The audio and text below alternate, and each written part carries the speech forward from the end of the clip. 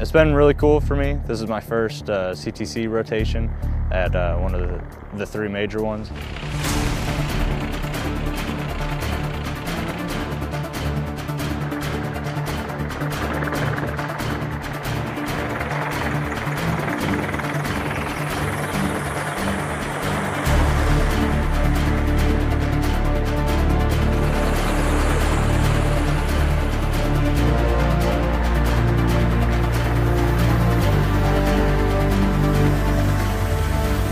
Working with the foreign militaries has been super cool, seeing their capabilities and the difficulties that it is with the language barrier and equipment barrier and uh, making sure we're all on the same page whenever anything happens.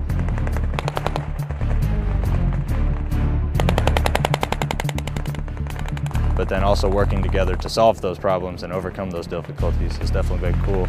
And I think it's uh, really cool that 234 Armor is able to be a part of this exercise and work with all these foreign militaries and show them what we're capable of and what we can provide in case they ever need help or if we ever need help.